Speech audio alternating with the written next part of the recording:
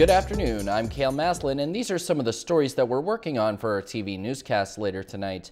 Terrace's attempts to get funding for our Lanfear Hill project is said to have been rejected. Changes are said to be coming to a TELUS Health program after a dispute with the BC government.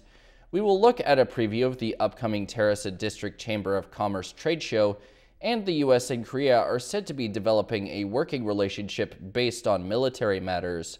Join Brendan Cassidy for these stories and more tonight on CFTK TV News at 5, 6, and 11.